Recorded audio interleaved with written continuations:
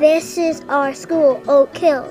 This is the biggest hallway in the school. Here's our teacher, Miss Dennis. This is our principal, Miss Hagstaff. If you would like to learn about anything, what would it be? And here's a class that did it.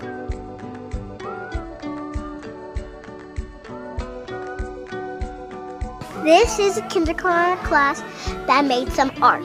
Here's here's a class that's a kindergarten class that made some snowman, and here's some pictures of it. This is our mascot. It's an otter. Here's our library.